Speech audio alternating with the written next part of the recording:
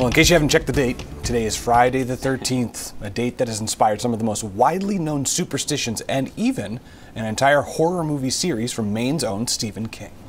But a bar down in Pennsylvania is hoping to cash in on the superstitions, while of course avoiding the bad luck. Today has been chosen as the opening day for the Coffin Bar, aptly named since the bar inside is in the shape of what else? A coffin. The bar also features an old church pulpit and even an altar and several other spooky decorations to match the theme. It's the first time in six years that the uh, Friday the 13th is happening in October. With Halloween right around the corner, it's a perfect time to take a look at your decorations. Take a look at this.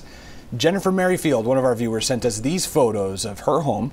Those spooky characters. I think now, Alex, are there black cats out on yeah so, out on yeah. the lawn there too? they are ready to scare Nice. some trick or treaters. If you would like to share your photos with us, you can find uh, the Near Me section of our News Center Maine app and upload them right there.